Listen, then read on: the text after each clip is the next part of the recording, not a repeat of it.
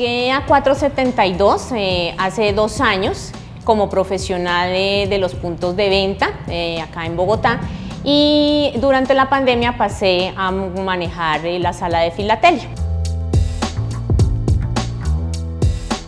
Básicamente desarrollo una función netamente comercial de venta de lo que es todo el material filatélico, desde la estampilla, los pliegos, las hojas, pasando por lo que es un sobre de primer día, eh, también material que se llama carpetas, que contiene todo el material, lo que es una estampilla, el sobre de primer día, junto con el boletín informativo, que es como una ficha técnica donde están todas las especificaciones de cada una de las emisiones.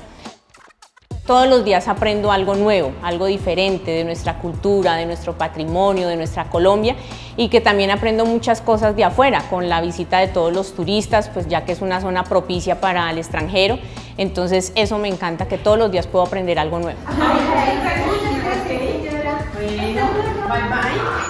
Bueno, yo creo que una de las, de las virtudes es como el orden, el mantener las cosas organizadas, el tener la retentiva, qué emisiones van llegando, qué emisiones están por salir, qué emisiones están terminando, como para poder también detectar una necesidad en el cliente o en el filatelista o en el amateur, el que está empezando, de pronto poderle dirigir, enseñar cómo puede empezar su colección.